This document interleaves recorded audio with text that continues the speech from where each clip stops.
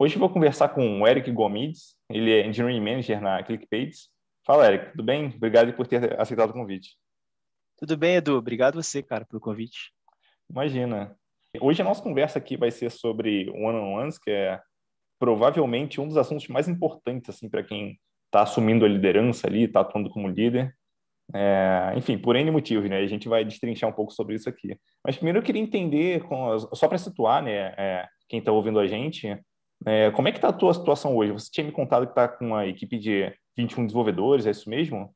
É, você tem líderes abaixo de você? Você é líder direto da galera? Como é que funciona isso aí?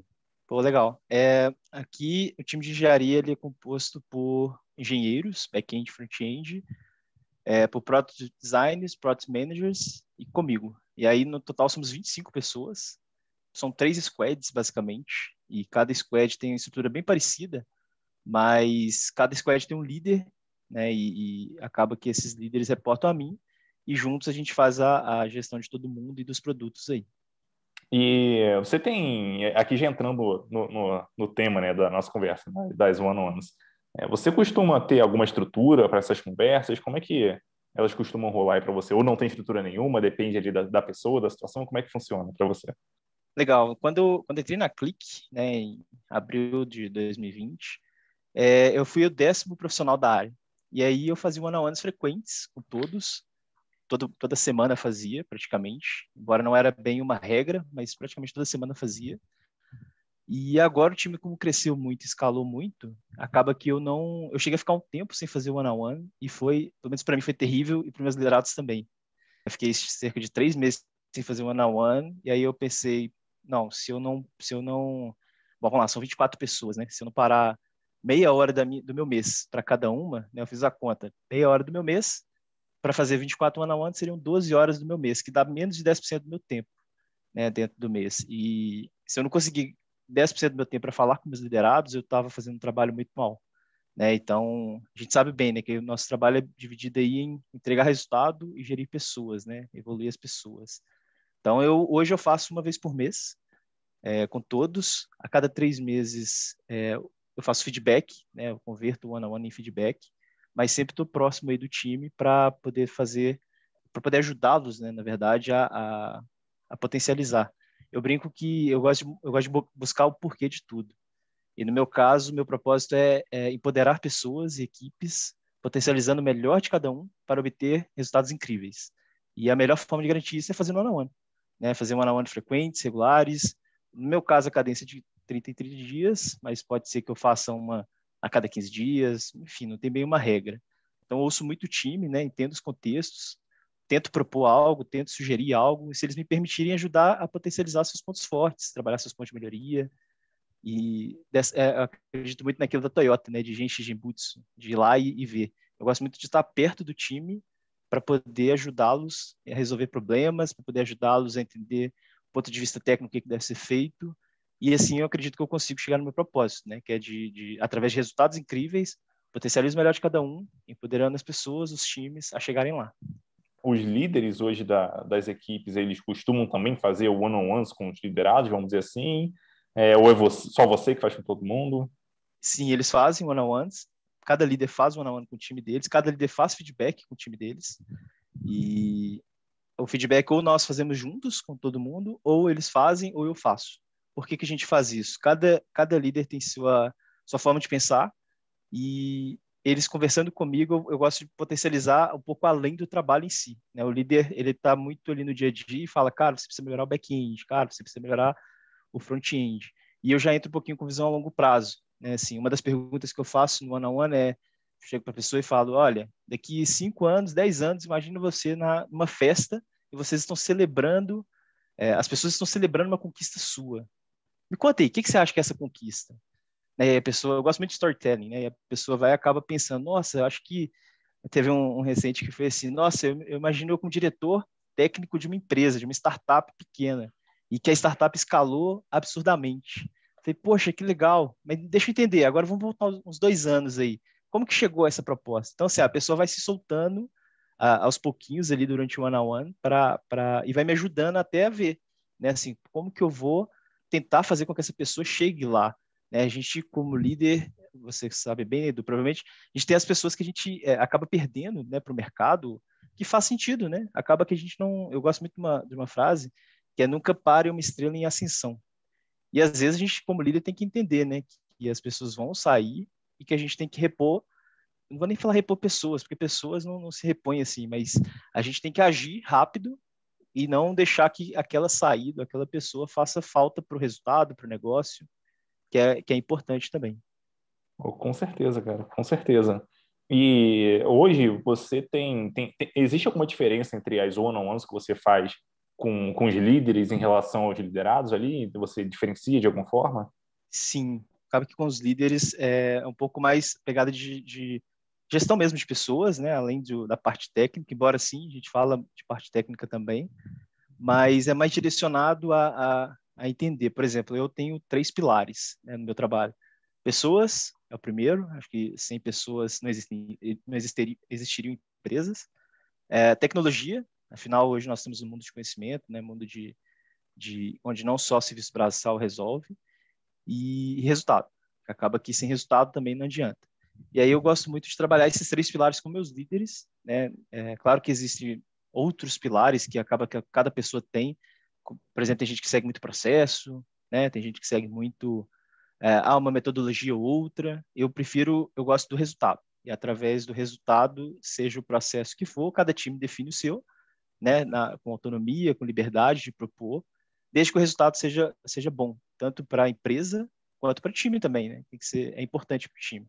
Eu vou, eu vou aproveitar pegar um, um, um, desses pilares aí que você colocou e, e, te fazer uma pergunta que eu quero muito entender a tua visão sobre isso, porque é um negócio que eu já tive dificuldade assim em vários momentos, né?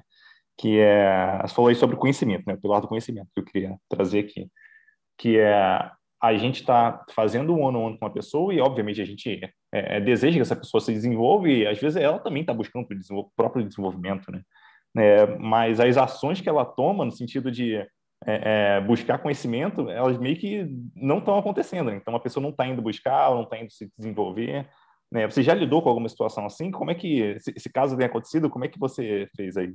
Legal, eu, eu gosto assim, cada, cada one on one onde eu potencializo ali um, algo de carreira, algo que a pessoa quer, e tem a ver necessariamente com alguma, alguma, algum conhecimento que a pessoa tem que correr atrás, é, eu gosto de fazer checkpoints. Então, assim, Vamos supor que eu conversei hoje, dia 23, com alguém. Até o dia 23 do mês seguinte, eu vou conversar com essa pessoa. Mas eu faço checkpoint antes, a cada duas semanas ali, talvez, ou a cada semana mesmo. E é como se fosse um PDI ágil, né? Assim, um PDI rápido, onde eu tento acompanhar e eu gosto muito de, de sugerir. Eu gosto de sugerir livros, artigos. É, a gente faz dojos na empresa toda sexta-feira.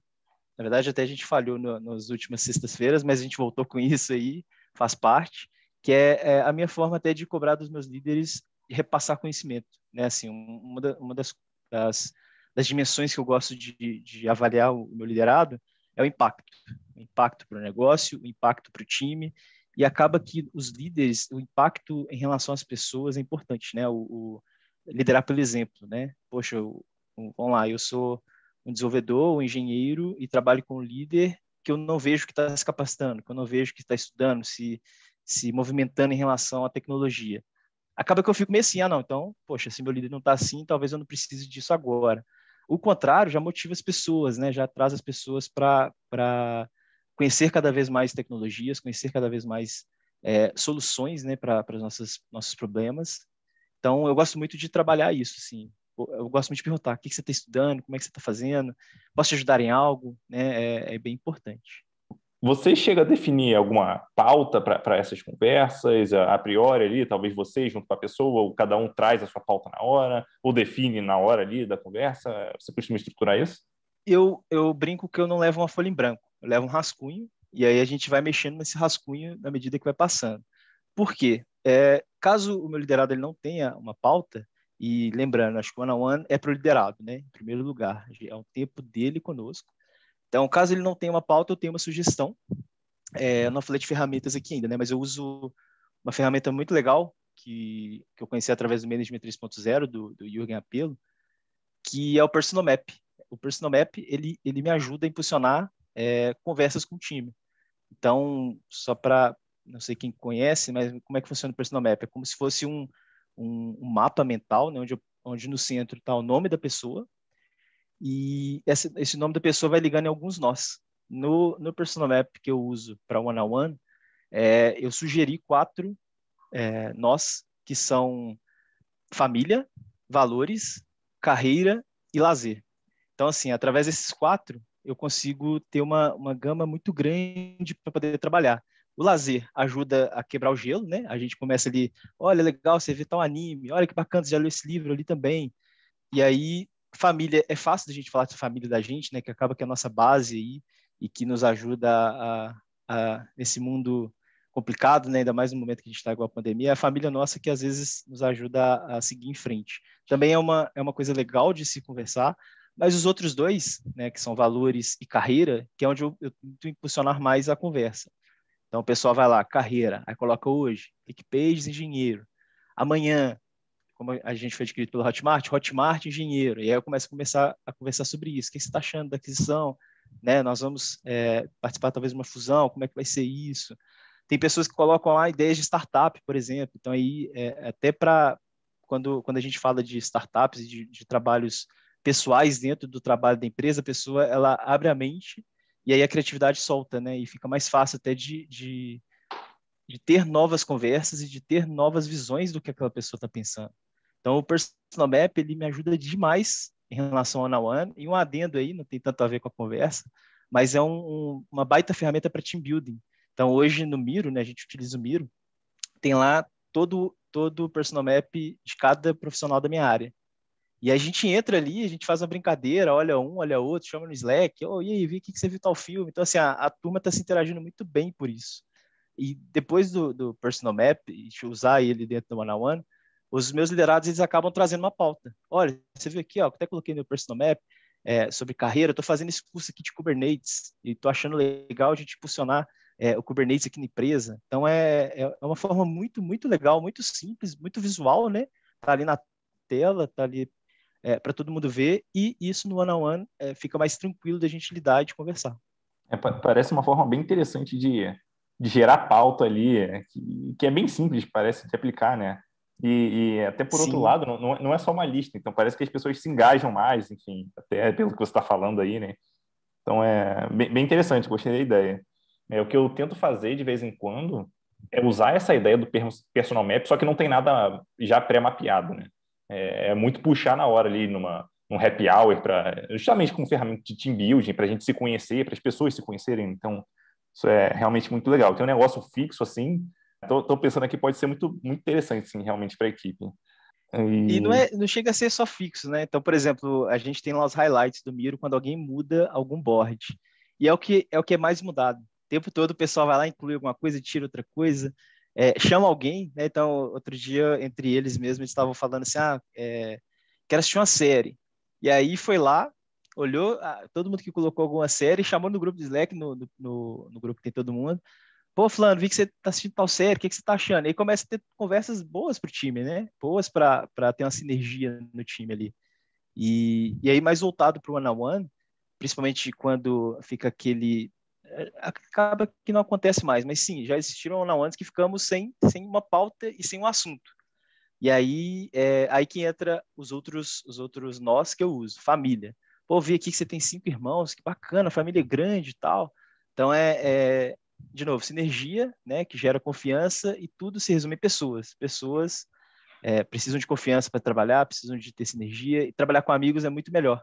Então é uma coisa que está meio que ligada na outra e facilita se tem alguém ouvindo a gente que está começando agora e, e, talvez não, não tenha conhecimento disso, né, mas né, ajudar as pessoas ali da equipe, eventualmente até da empresa, a terem uma relação, isso costuma até melhorar bastante os resultados, porque elas vão saber trabalhar melhor entre si, elas vão conseguir se cobrar melhor. Então, se a gente é, é, voltar lá no livro do, do Patrick Lencioni, né, Os Cinco Desafios das Equipes, basicamente o primeiro nível é justamente da confiança é, das pessoas se conhecerem ali, confiarem umas nas outras, para conseguirem atingir níveis mais altos. Então, isso é assim, é, é, é, meio, é meio até que básico quando a gente vai formar, formar uma equipe, né? A gente precisa garantir que as pessoas estejam minimamente confortáveis e, enfim, se conheçam para conseguirem trabalhar melhor, melhor juntos. Então, é um ótimo ponto isso aí, cara. Legal. Outra coisa que eu acho interessante, assim, E hoje todo mundo está remoto, né? E cada vez mais as empresas vão ser remotas, mesmo após todo, todo o problema da Covid ser resolvido. Uma coisa que eu gosto muito, né? E aí é, é, vai de cada um, claro, mas acho que todo líder deve fazer é se mostrar próximo. Como é que a gente se mostra próximo estando remotos? Ligando a câmera. É, eu gosto muito de fazer anotações. Então, por exemplo, eu não aquele negócio de ficar olhando para a câmera ou para a tela, depois olhar para o teclado. Não, eu gosto muito de ficar olhando para a pessoa, claro, e, e falar, ó, vou fazer umas anotações aqui, porque além de eu, de eu colocar no papel, eu reforço isso depois jogando isso para o Notion. Então, todos os one-on-ones eu trago para o Notion, por exemplo. Então, eu falo, é, é quase que eu, como se eu conversasse com a pessoa duas vezes. Uma para anotar e outra para jogar para o digital. E isso é muito bom, porque às vezes eu não pensei em tudo naquele momento da conversa, mas quando eu jogo para o Notion e lembro de alguma coisa, já coloco ali para uma próxima conversa, já, já tacar aquilo ali na pessoa. É assim, não vou lembrar agora de um caso específico, mas é, é já aconteceu algumas vezes de eu anotar e falar, caramba, numa próxima oportunidade eu preciso falar disso aqui. Já começa a próxima ano com isso. É bem legal também, funciona bem. E teve um ponto que você falou mais cedo, né, sobre é, o, o, ponto da one on one é basicamente criar relação com, com, os liderados e isso assim isso também é, é, é muito básico, né? Porque uma vez que a gente cria essa relação, a tendência é que exista muito mais uma, uma confiança entre as pessoas e que a gente se abra muito mais e que a gente consiga entender, a gente como líder, né, consiga entender como que consegue ajudar melhor o liderado e, por outro lado, o liderado ou liderada consegue, enfim, pedir mais ajuda também quando precisa, né? Então, é, é, isso acaba criando uma sinergia ali para o resultado ser, ser muito melhor. Sim, e, e, a gente, como engenheiros de software, a gente está resolvendo o problema o tempo todo, né? Seja um problema para o usuário, um problema para o negócio, né? Para a empresa, um problema técnico, um débito técnico. Então, assim, é, falar de problemas, falar de erros, né? Olha, eu errei. Para você ter essa, essa liberdade para falar com alguém, tem que ter uma, uma segurança psicológica, tem que ter um, uma confiança entre o líder e o liderado. Eu falo muito com, com o pessoal, seja numa reunião normal, seja no post-mortem, por exemplo, que a gente tem que pôr o problema na mesa. Cara, joga o problema na mesa e vamos resolver como time.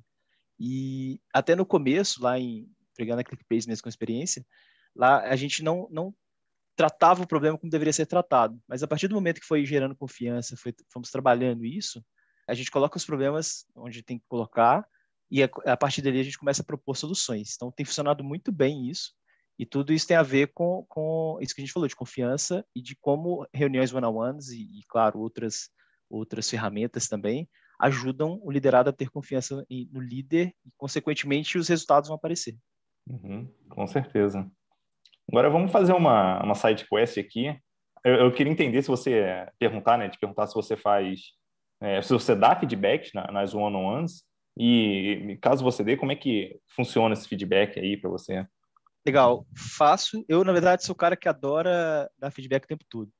Então, eu celebro pequenas vitórias. A gente, próprio Slack mesmo, a gente sempre tem, a gente usa o cudo ali e, e parabeniza as pessoas por algum feito mas isso, isso não é para todo mundo ver, mas nas reuniões one-on-one também.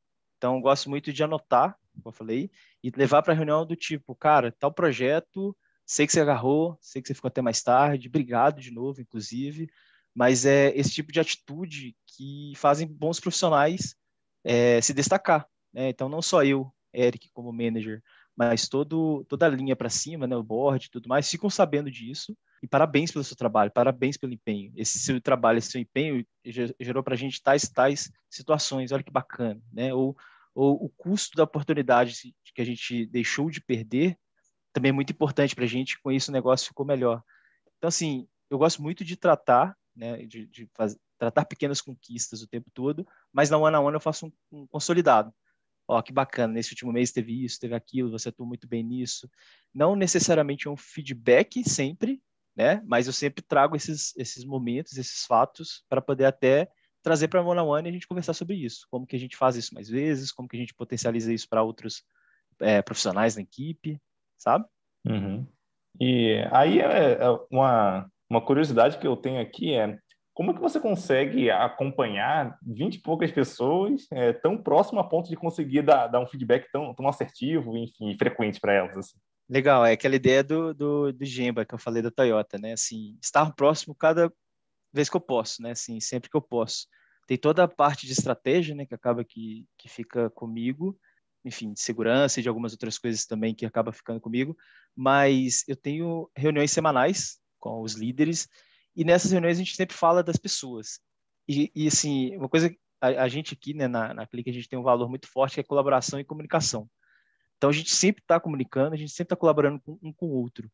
É, então é fácil de. A nossa cultura ela mostra muito fácil o que está acontecendo. Onde tem problema, a galera levanta a mão e a gente ataca o problema. Onde tem coisa que está saindo bem, onde tem solução, a gente entende e também elogia a turma ali.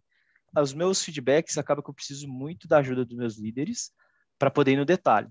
É, então, se eu precisar dar um feedback, por exemplo, de melhoria e eu não sei o detalhe, eu preciso de todas as informações possíveis antes de dar o feedback, porque no momento do feedback eu preciso ser o mais assertivo possível, até para outra pessoa ter a chance de melhorar naquele ponto que ela precisa melhorar.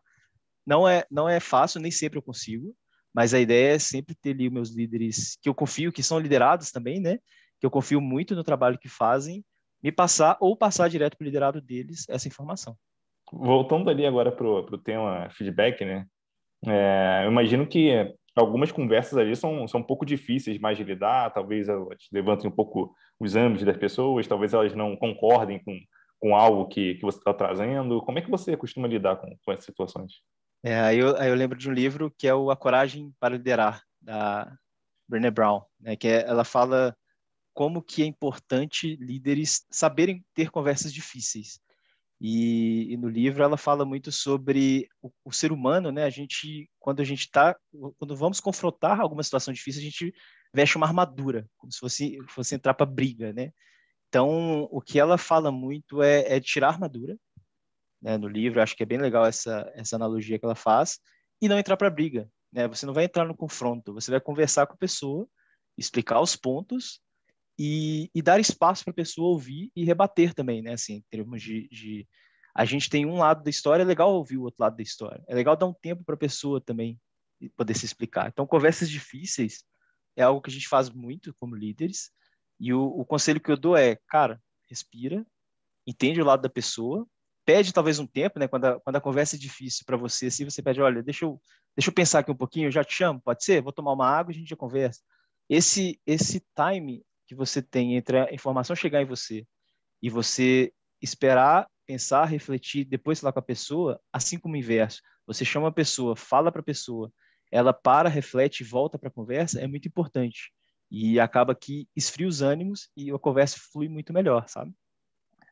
Dependendo ali da situação, fica até difícil de conversar realmente com a pessoa na hora, né? Talvez até seja melhor deixar para o dia seguinte do que falar naquele dia justamente porque a, a gente pode estar com, com, um ânimo, com um ânimo tão à flor da pele que é, fica difícil confiar em como a gente vai reagir e como a pessoa vai reagir também. Né? Então, tem algumas situações que, que realmente podem causar isso. Então, é importante ter, ter cuidado assim numa situação dessa.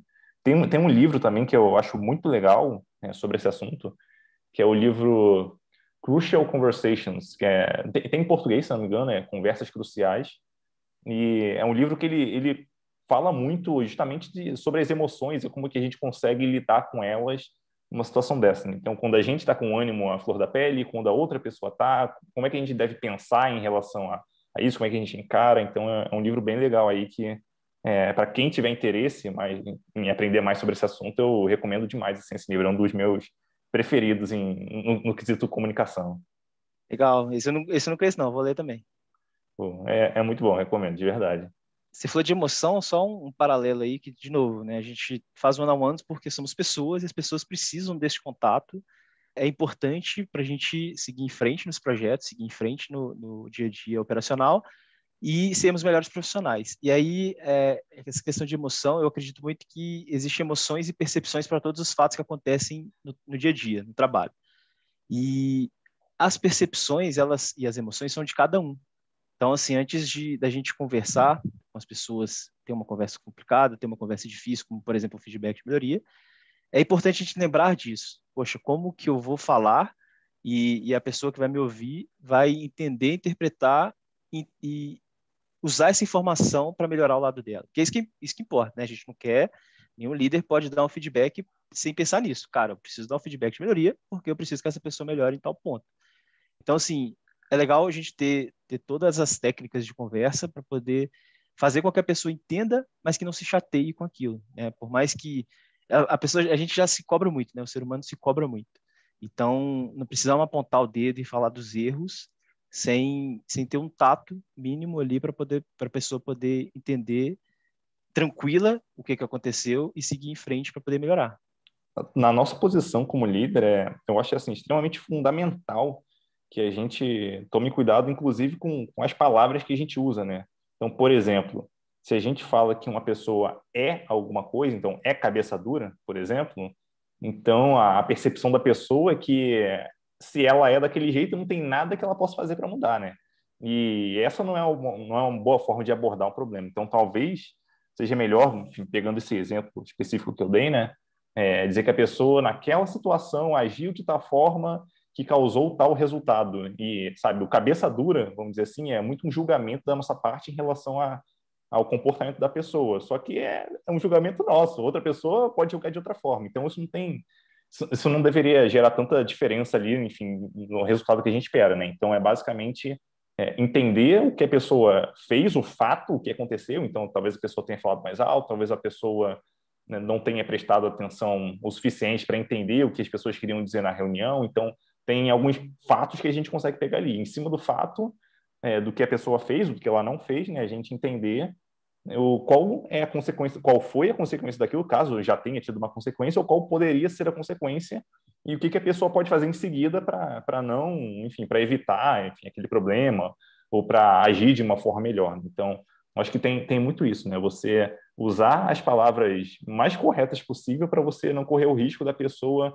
simplesmente ouvir o que você falar e, vamos dizer assim, ficar, ficar chateada ou achar que ela não tem jeito, enfim, uma coisa assim. A ideia é justamente dar impressão para a pessoa ou, ou deixar, pelo menos, nítido na cabeça dela que, sim, tem como ela mudar, tem como ela evoluir, ela só precisa, talvez, fazer uma coisa ou outra e, e o que ela precisa fazer sai muito do combinado com, com, com a gente, líder. Sim, e o meu 50 cents aí é storytelling de novo. Eu gosto muito da, da, de dar visão do tipo, olha, a história que está passando na minha cabeça é que tal situação você não não não teve o mindset para absorver aquilo ali, mas essa história que eu tô que eu tá na minha cabeça, ela é real? O que, que você acha disso? É, então, assim, você não está necessariamente falando com a pessoa ali diretamente, como, como você está falando de um personagem que é a própria pessoa, mas em forma em um modelo de fala diferente, que o nosso cérebro reage de forma diferente também.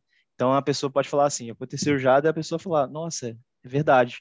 E, é, olha que a pessoa está falando dela mesma, mas ela fala, verdade, essa pessoa aí, né, é, essa situação deveria ter sido de, tal outra, de outra forma. Então, eu gosto muito dessa técnica por conta de tirar um pouco o peso da informação em si e de como a pessoa vai reagir, sabe? Muito bom, muito bom.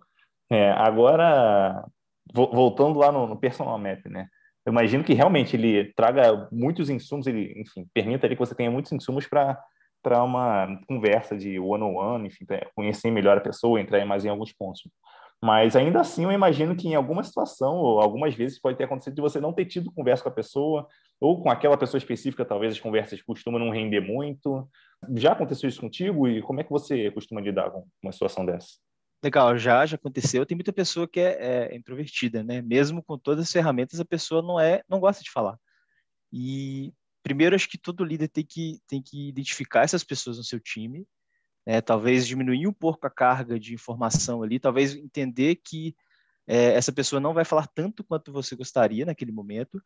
E aí talvez não tenha tantas técnicas. Mas o que eu gosto muito é já é, é pegar o trabalho do dia a dia e começar a perguntar, ó, oh, tal tarefa que eu sei que você estava mexendo, que você estava atuando, o que, que, você achou dela? E aí pega uma tarefa que foi bem, né, assim, para iniciar. Não, pega aquela tarefa mais complicada, porque a pessoa naquela que foi bem vai lembrar o que, que fez, o que, que atuou, e na hora que falar sobre essa tarefa, já tem ali uma porta aberta. A partir do momento que a porta aberta, você vai, vai entrando devagarinho. Ah, bacana, e você já, já tinha pego é, uma atividade parecida assim antes, já, já tinha pego uma atividade assim antes, e aí você vai entrando. E aí, no, num determinado momento, você fala, olha que legal, bacana, obrigado por falar isso, e o que, que você acha de, de que vai ser o futuro em relação a essas suas atividades? Sabe, você vai pegando ali passinhos em passinhos, vai se abrindo com a pessoa, até que o momento ela vai soltando. É difícil, realmente, não é, não é fácil, mas você tem que ir perguntando, você tem que ir saindo É, eu, eu, sou mineiro, né? O mineiro tem algumas, alguns macetezinhos de, de chegar lá, mas é, é importante deixar a pessoa confortável e ir aos pouquinhos.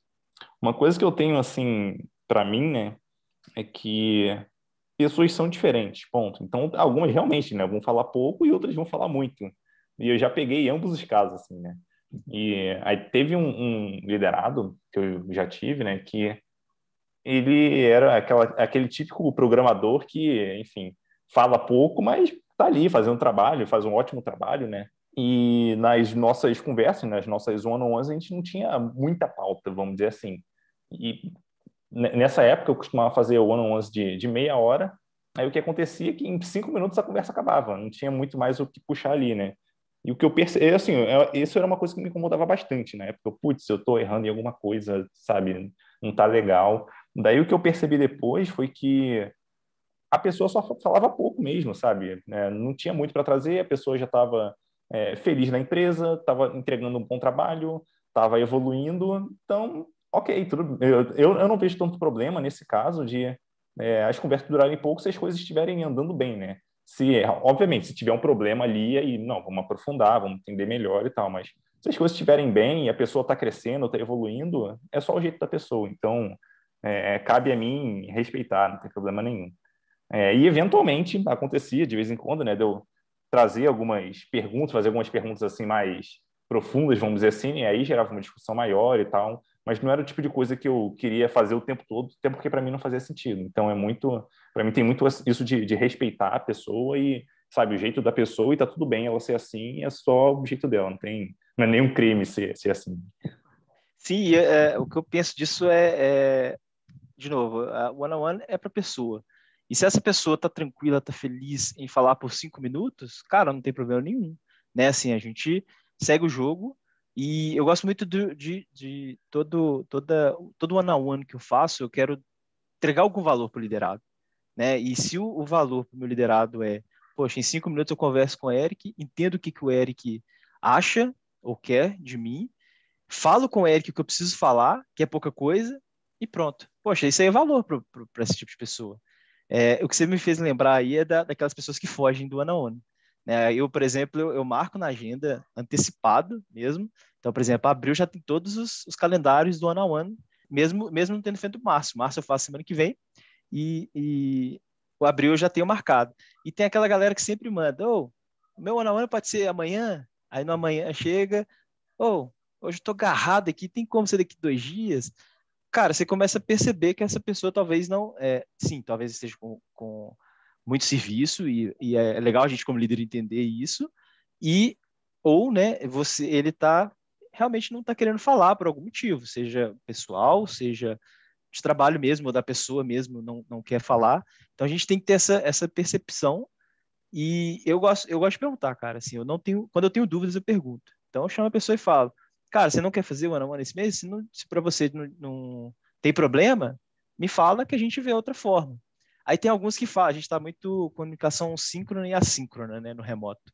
Ah, alguns já têm pedido para fazer assíncrono. Falei, Poxa vida, fiz, ah, fiz um on one assíncrono, funcionou, embora eu, Eric, não gostou, mas, de novo, por que funcionou? Porque meu liderado virou para mim e falou, cara, obrigado por ter feito assim, é, eu não queria realmente entrar no Meet e conversar com, a, com, com alguém, não. Eu estou aqui mais focado e tudo mais. Então, por que não isso, isso não é legal? O ideal é a gente conversar, claro, mas se para a pessoa tá bom de fazer um one on ali, e foi, foi as perguntas que eu faço é, verbalmente, eu fiz ali no texto, e ele foi me respondendo, e a gente até usou cerca de 30 minutos ali conversando com o outro, mesmo que assíncrono, funcionou para ele, funcionou para mim. Acho que esse, é, é, a gente ter essa flexibilidade né? E de novo, como você falou, são pessoas e cada um é diferente. É, é bom. No ano ano seguinte, essa pessoa já fez comigo normal. Né? Já fez comigo via Meet, via ligou a câmera, até explicou o caso, o que aconteceu da outra vez. Então é de novo confiança, né? É, a minha atitude ali eu até, eu até pensei, cara, não, vamos tentar então semana que vem. Mas eu falei, não, deixa eu, deixa eu testar, vamos experimentar e ver. É, funcionou e eu, eu ganhei um pouquinho mais de confiança com o liderado que acabou me agradecendo por aquilo e no one-on-one seguinte explicou o porquê é, daquela situação, mesmo se expondo, né, mesmo ficando vulnerável naquele momento, ele, ele, ele quis se expor comigo para explicar aquela situação e hoje a gente está mais próximo por causa disso. Às vezes a gente quer ser idealista, mas não, não, não, tem muito espaço. A gente também tem que saber adaptar, né, quando, quando necessário ali. Obviamente, é, o ideal, eu, na minha visão, é realmente o, e até o presencial, né? Só que nesse momento, como não é possível, que seja por vídeo, mas tem situações que realmente fogem um pouco à, normalidade ali que a gente precisa saber adaptar. Então, isso é importante também. Não, e a flexibilidade que eu falei é importante dessa forma, e até um outro exemplo que, que aconteceu. É, um dos meus liderados ele estava tava se sentindo muito sozinho em casa, né? então ele trabalha todo dia em, na casa dele, ele é até casado, a esposa fica fora o dia todo e à noite quando ela chega ela vai para aula, então ela fica conectada e ele fica sozinho à noite. E aí no one on one a gente conversou sobre isso, é, ele falou quanto estava chateado em relação à pandemia, mas também em relação a não conversar com alguém assim, de ver alguém, né? Acaba por, por conta disso. E aí eu perguntei, cara, aqui, aqui a, a situação nunca foi boa, né, desde o início da pandemia, mas teve uma época que os cafés estavam abertos. Falei, cara, vamos fazer nosso one on one no café, respeitando, claro, usando máscara, né, distanciamento e tudo mais. E para ele, esse one on one foi até demorado, demorou cerca de uma hora, uma hora e pouquinho. Mas ali ele é, teve um boost para ele, sabe? Ele gostou daquilo ali, deu, um, deu uma animada nele, ele até, é, olha que engraçado, antes ele não não procurava de alguns cursos, hoje ele já me procura para alguns cursos, ou seja, deu uma animada, tem outros, outros fatores para ele, sabe? E tentei essa flexibilidade por isso, né? Entender a pessoa, entender meu liderado, saber que ele tem emoções, saber que ele tem percepções em relação às coisas, e fui, foi muito bom, foi muito tranquilo, foi um one-on-one presencial que, que foi muito valoroso para mim e para ele.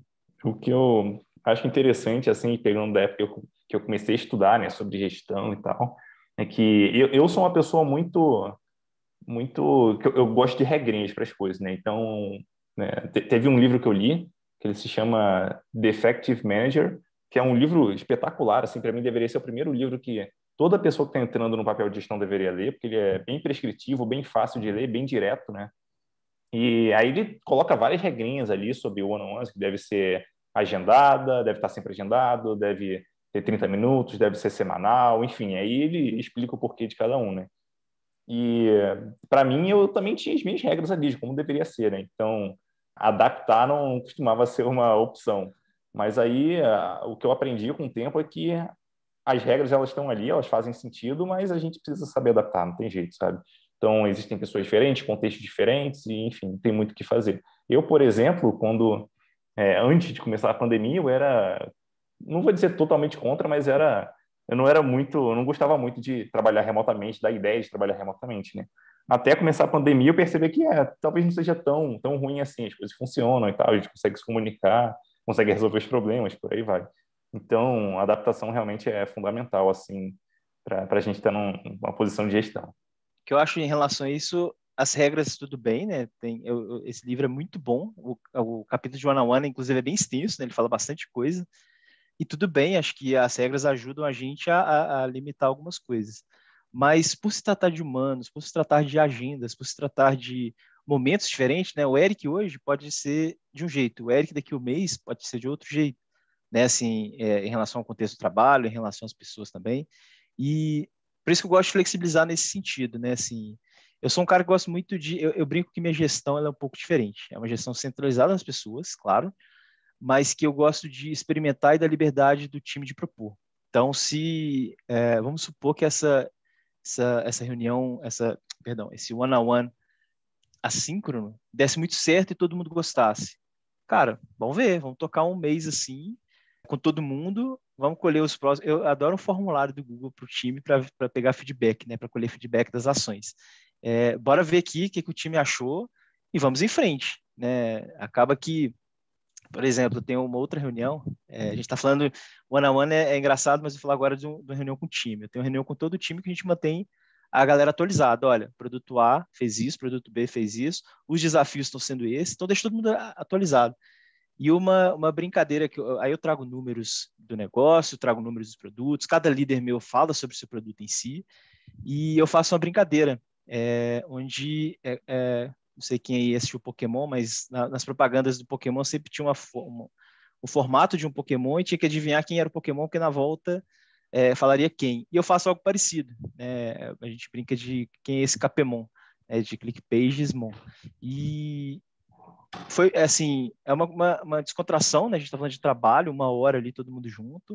Eu quero mostrar valor, igual eu falei, é uma reunião que eu quero entregar valor para o meu time, para o time ver o que, que o outro está fazendo, saber os desafios do, do, colega do lado, mesmo que não esteja no dia a dia, na dele, no, nos ritos do time. Aí eu fiz um, um formulário para ver o que, que o time achava das reuniões. Uma das reuniões era essa mensal, e eu perguntei o que, que as pessoas mais davam valor, ou que mais gostavam de falar na reunião. E aí o top 3 foi é, números da área, de modo geral, números dos times e quem é esse Capemon. então a, a, turma gostava muito é, é, disso e nos one-on-ones, é, aí trazendo para o one-on-one. a galera fica pedindo, cara, esse mês posso ser o, quem é esse quem é esse Capemon? Posso? Então assim, o lúdico até para nós adultos, né, é, legal e gera gera abertura e brecha para novas conversas, para tirar aquele silêncio, né, esquisito ali das one-on-ones. Então eu gosto muito do, do, por isso que eu brinco que essa minha, minha gestão é um pouco diferente. A gente acaba fazendo coisas, sim, sérias, importantes, mas que também traz para um, um, lado é, brincalhão para a gente poder trabalhar isso melhor e, e abrir para novas perguntas, abrir para novos espaços. É, agora, voltando no, no ponto que eu, que eu cheguei a comentar ali sobre conversa com, com o liderado que eu mencionei e tal. E eu cheguei a, a falar ali sobre é, talvez trazer algum, alguns temas de algumas perguntas mais profundas, assim, enfim, perguntas poderosas ali, né? Daí eu queria entender é, de você se você costuma é, usar, enfim, perguntas poderosas, que você costuma ter conversa poderosa, você busca, em que momento você busca, como é que, que isso funciona aí para você? Legal. É, o ano a ano é o melhor momento para fazer perguntas poderosas e eu uh, acho que não só no one-on-one, mas, por exemplo, quando você tem aquele momento que você tem está falando de projetos com o time e de repente surge uma possibilidade de você fazer perguntas até para o time para ver o, o, time como ele ele se orienta em relação a alguma coisa seja uma, uma pergunta mais mais técnica uma pergunta realmente de comportamento ali para você ver como que o time age e usar o momento do time para para criar discussões dentro ali então, é, e aí essas discussões de time me dá muito insumo para trabalhar as one-on-ones.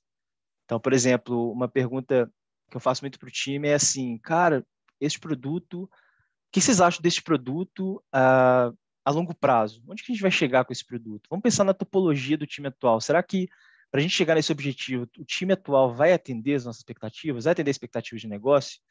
E aí o time começa a debater sobre isso, e aí eu começo a ver opiniões fortes, opiniões interessantes, que eu anoto e jogo para um one-on-one e converso com a pessoa no one-on-one. Aí eu já lanço o fato da, da, que aconteceu, junto com outras perguntas poderosas. É, até, inclusive, eu acredito muito que nessas horas que a gente vê potencial do time crescer, potencial do, da pessoa crescer. Né, assim, em uma reunião com todo mundo, a pessoa, de novo, eu gosto de ver o impacto né, da, da, da que as pessoas trazem e é nessas horas que, que vem uma opinião forte, vem uma opinião interessante para o negócio, que a gente tem que trabalhar, tem que trazer para o momento one-on-one e trabalhar naquilo para potencializar aquilo. Muito legal, cara, muito legal. Eu costumo, assim, eu, eu não uso perguntas poderosas, vamos dizer assim, muito frequentemente. Eu guardo para alguns momentos ali, é muito para entender como a pessoa entende, enfim, que alguma situação, né, que, que aconteceu, enfim. É, é, talvez até uso quando a gente não tem muita pauta, eu quero entrar num, num, assunto que, que a gente não costuma entrar com muita frequência e tal. Mas é, eu acho até curioso ver como que, que as pessoas reagem, assim, quando, quando aquela pergunta encaixa, sabe? Então a pessoa, tipo, putz, sabe, eu, eu, nossa, nunca, nunca enxerguei isso dessa forma e tal, pera, deixa eu parar aqui, deixa eu pensar e tal. Aí é que costuma sair, sabe, as melhores conversas, porque são justamente esses pontos que não são tocados que, que, que levam a gente ali a descobrir, a, a pessoa se descobrir, né? a gente a conhecer melhor a pessoa, a gente se conhecer melhor também. Então, é, é muito interessante. Quem, quem para você que está ouvindo aí, né? Então, você, você pode buscar no, no Google aí sobre perguntas poderosas, é um tema, né? É, é muito interessante. Você costuma documentar a discussão que você tem com os liderados? E sim, você chega a compartilhar isso? Como é que funciona isso aí? Você é, documenta e depois faz um, um, resumo no final? Você só conversa, lembra de tudo e depois faz o resumo lá, o feedback? Como, como é que funciona isso aí para você? É, eu não tenho regra, é de novo as regras, né? Não tenho uma regra muito clara disso. Eu, eu documento tudo. Então, toda, toda one-on-one que eu tenho, eu entro aqui no arquivo do Notion, tem lá todas as one-on-ones com as datas que eu fiz. algumas vezes eu passo isso para o liderado, seja via Slack, seja via e-mail. Acaba que eu não compartilho o, o arquivo em si, mas eu passo essa informação para a pessoa por conta daquilo que eu falei sobre um checklist, né? Um, perdão, é, aquilo que eu falei sobre um checkpoint. Olha, isso que a gente conversou é legal para caramba para o seu futuro, é legal para caramba para o que a gente quer, né? Como empresa, como time. Vamos, vamos trabalhar isso até tal dia? E aí eu, eu vou enviar, enviar esse arquivo para a pessoa, quase como uma pauta, né? Do one-on-one. -on -one, e vou trabalhando naquilo ali, quase é, como um histórico mesmo. Olha, a gente conversou tal dia sobre isso, aí fizemos checkpoint aqui, foi bem, naquele checkpoint já não deu muito certo. O que, que você acha? É, tem, tá fugindo do que você precisa? Tem alguma coisa que eu posso fazer para te ajudar? É, ou tem algum curso que a gente pode fazer junto? Ou tem um livro que eu posso te indicar? Sabe, assim, a documentação é muito boa, embora tenha, tenha certas conversas que eu não acho que precise ser encaminhado para o liderado. Claro que se pedir, se, se, né, se quiser, enviamos, não tem nenhuma informação sigilosa, até porque foram feitas pelas duas pessoas. Mas é, o que eu gosto muito de fazer quase como uma ata e enviar para o liderado, é quando tem esses checkpoints que eu faço durante o mês, para ver se ele está indo bem ou não. Alguns checkpoints, inclusive, são nas próprias one-on-ones. Né? Então, por exemplo, eu dei o exemplo do Kubernetes, não tinha como a pessoa, em uma semana, duas semanas, aprender. Então, a gente fez um, um, um combinado um pouco maior e checkpoints mensais até a pessoa tirar a certificação, que era o que a gente estava falando no one-on-one, -on -one, e, e que o feedback foi muito legal disso. Tipo assim, cara, a gente conversar sobre isso sempre me ajudou né? Como, assim como o óbvio precisa ser dito, aquilo que é necessário para o liderado saber é, que ele vai ajudar e que vai ajudar ele, né? No caso, uma certificação. A certificação é 50% para o cara, 50% para o dia a dia. Então, é, é, isso foi funcionou muito bem, sabe? Hum, muito legal, cara. Bem massa. E você já passou por alguma situação onde a pessoa, repetidas vezes, aparecia na, na one-on-one, dizia que estava tudo bem, mas você sentia que não estava muito legal, enfim, talvez ah, tenha acontecido alguma coisa no futuro que mostrou que, que não estava tudo bem. É, se sim, como é que você lidou com isso? Já teve uma que eu senti a pessoa mais distante e chamei meus, meus líderes para dar uma, uma, olhada, conversada, né? Foi, foi até para ver a percepção. A percepção era, era igual para o liderado, para o líder direto desse liderado. E eu chamei para uma nova conversa. E aí eu já fui mais, mais nesse ponto. Olha, cara, storytelling. Olha, a história que eu estou me contando aqui é que você não estava presente ali, né? Não, não, nem usei o storytelling ali, mas eu poderia ter feito dessa forma. Só chamei ele e falei, olha, é, minha percepção foi essa, tá tudo bem? Né? O que, que aconteceu? Algo? Posso te ajudar em algo? E nesse caso a pessoa até precisou de alguns dias de folga, porque realmente tinha alguma coisa. Na verdade, era, era, era um início de um burnout que a pessoa estava tendo, não pelo trabalho em si, mas por um acúmulo de coisas. Então, se eu não tive, se a gente não tivesse tido esse feeling, né, se eu não tivesse conversado com um liderado meu que é líder dessa pessoa, e se eu não chamasse ela de volta, né, para conversar, talvez a pessoa teria passado mal de alguma forma. E acabou dando tudo certo, mas foi assim que eu agi, sabe? Uhum.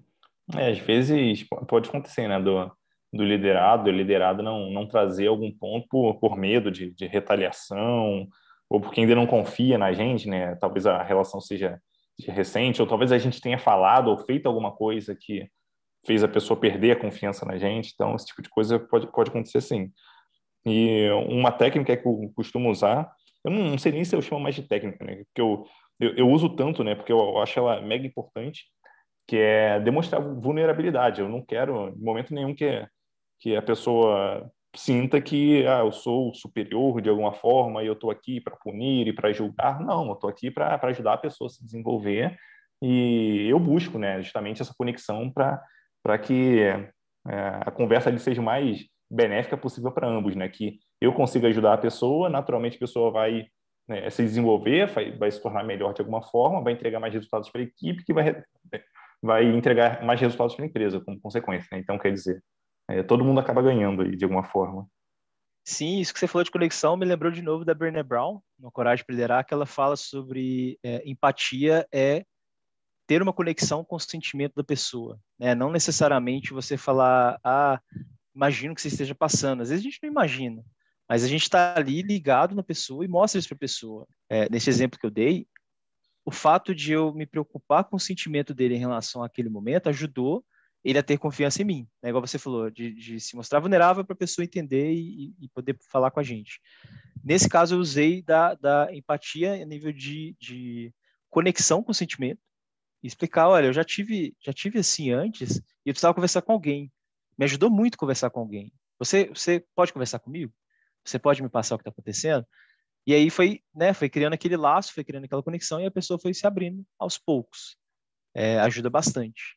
Outro ponto é, que eu acrescento é de fazer perguntas, né, assim, não é o que eu falei de, de conexão, né, conectar o sentimento da pessoa, mas fazer perguntas ajuda, né? A gente às vezes tem medo de perguntar e tem aquele estado, perguntar não ofende. Pergunte, né? Procure o liderado, veja, mostre interesse, né? Realmente, porque é, é, é a pessoa que importa antes de qualquer coisa.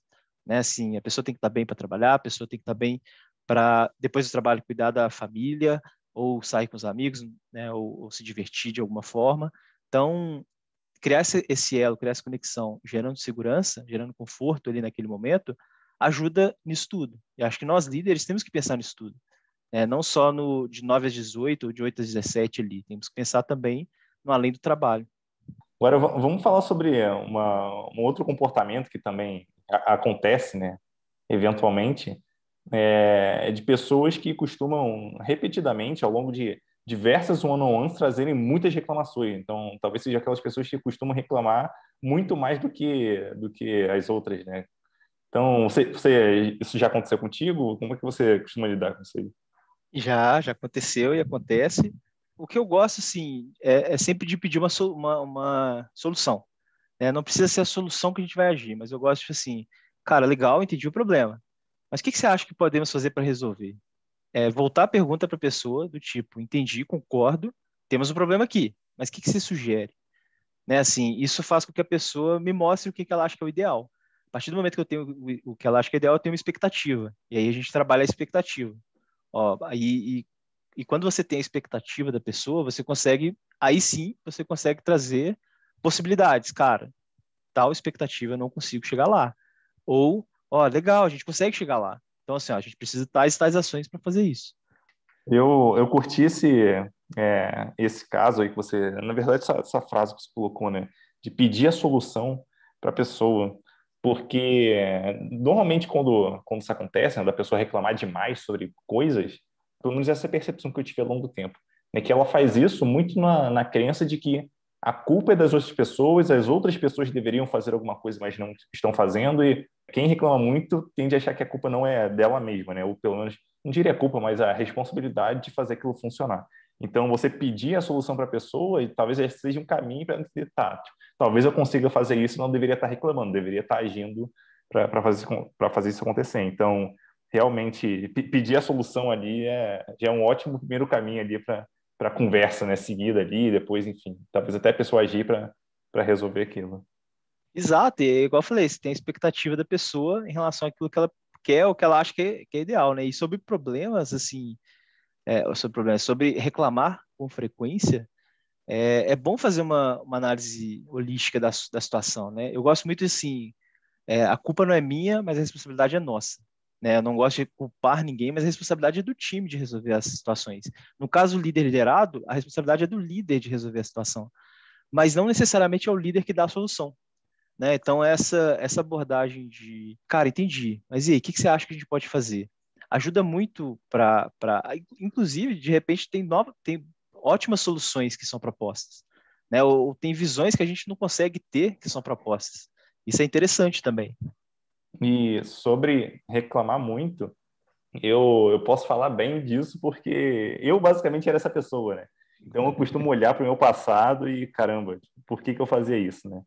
E uma coisa que eu percebi, assim, me, me autoconhecendo né, ao longo do tempo, é que muitas coisas, muitas pequenas coisas do dia a dia acabavam me irritando, mas se eu parasse para pensar, não tinha motivo nenhum para me irritar. Talvez a decisão que uma outra pessoa de uma outra equipe tomou me irritava, mas sabe, qual a consequência que aquilo vai ter para mim ou para minha equipe? Nenhuma, sabe?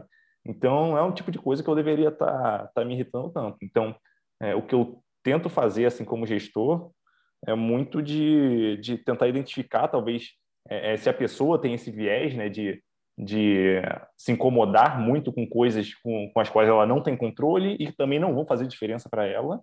E nesses casos, como que eu consigo trabalhar com a pessoa para que ela não tenha tanta sensibilidade para isso, né? Para que ela, sabe, se sinta mais anestesiada ali e passe a focar naquilo que realmente faz diferença no, no trabalho dela, que é que ela consegue executar ali no dia a dia, é realmente que vai trazer, é, é, vai trazer resultado para a equipe, enfim, por aí vai. Então, eu tento muito jogar mais o foco para isso e tirar o foco da, das outras coisas que são praticamente irrelevantes ali, né?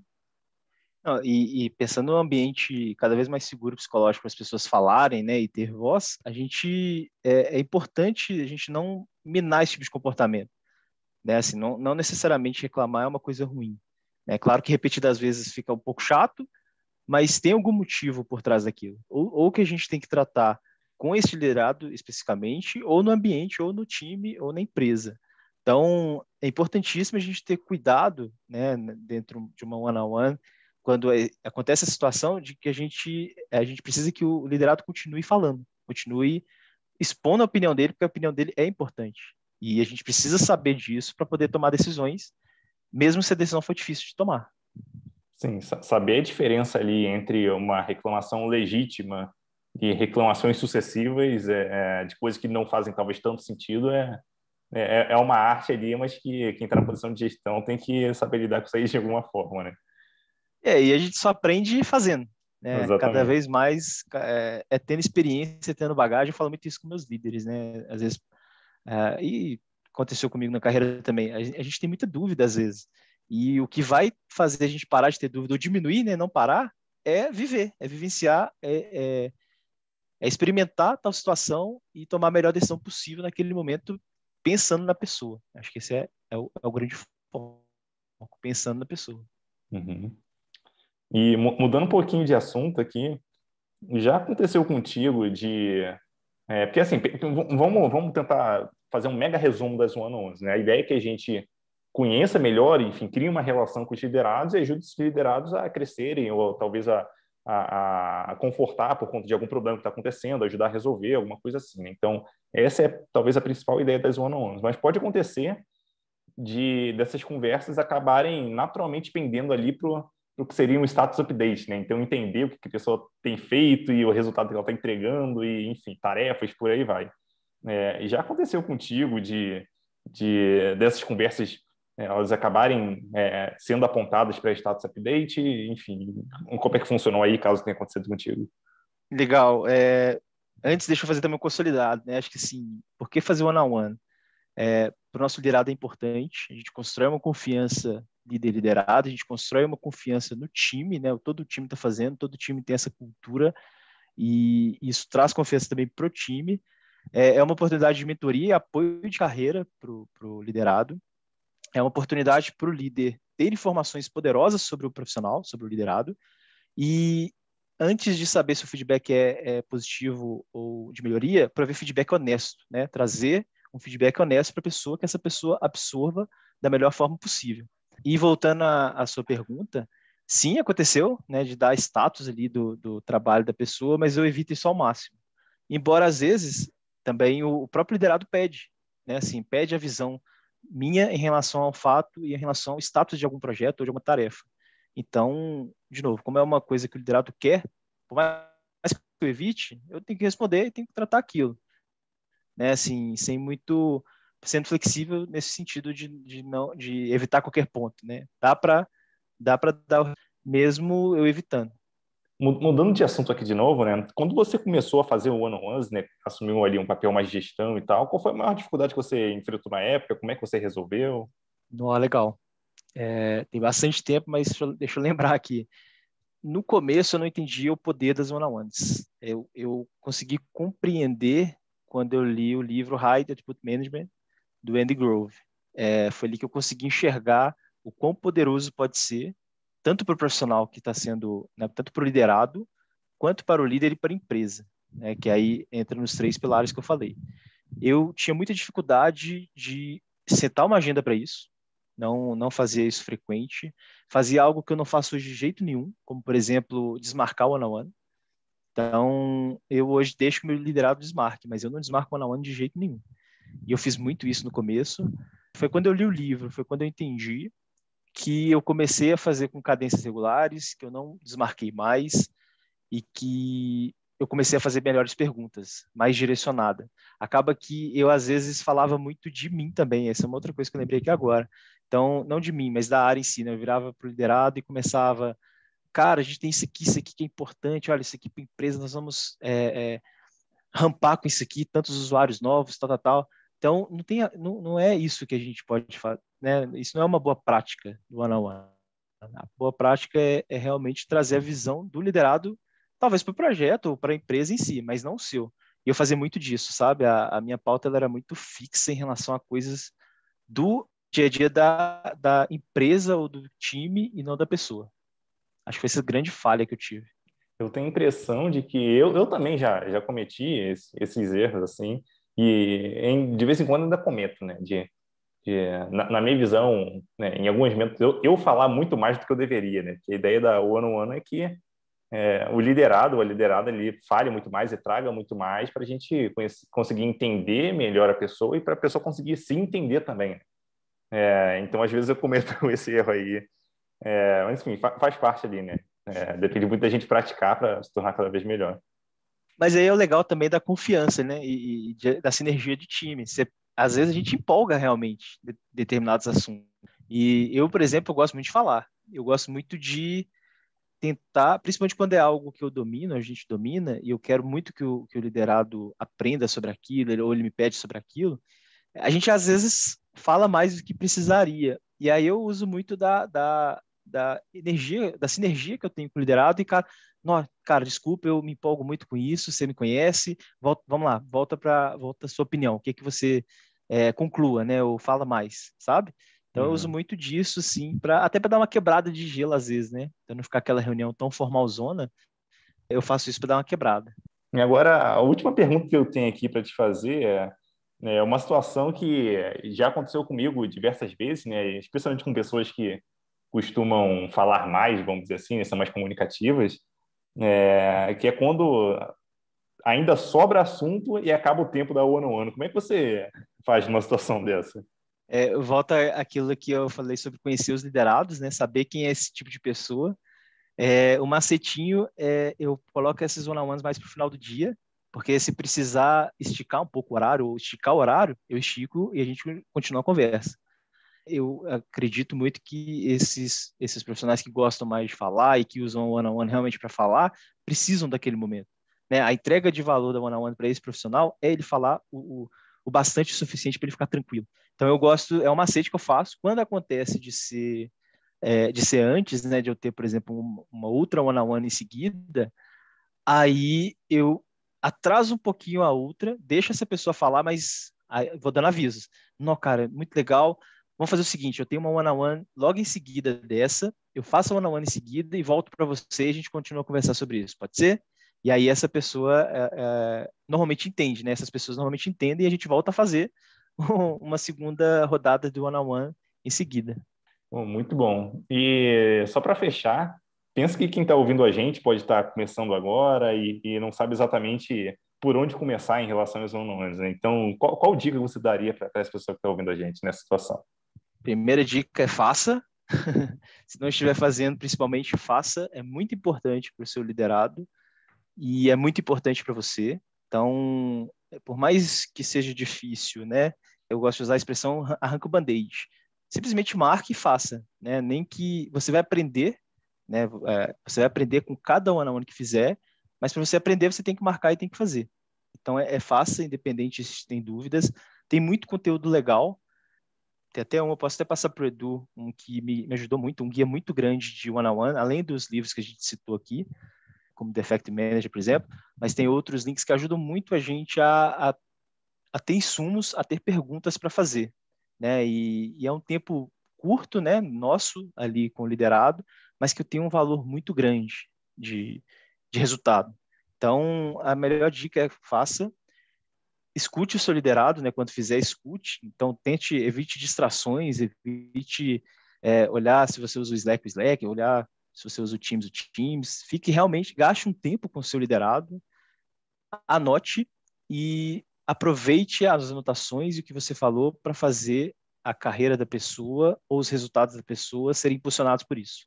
Né? Não deixa, não faça só para fazer, faça com que o conteúdo daquela reunião seja importante para a pessoa no futuro dela também. Acho que essas são as dicas aí. Bom, muito obrigado, Eric. Foi espetacular a conversa aqui contigo, curti demais. É, obrigado e até mais, cara. Eu que agradeço, Edu. Cara, brigadão e parabéns por tudo que você tem feito pela comunidade aí. Você tá de parabéns. Pô, muito bom, cara. Valeu, até mais.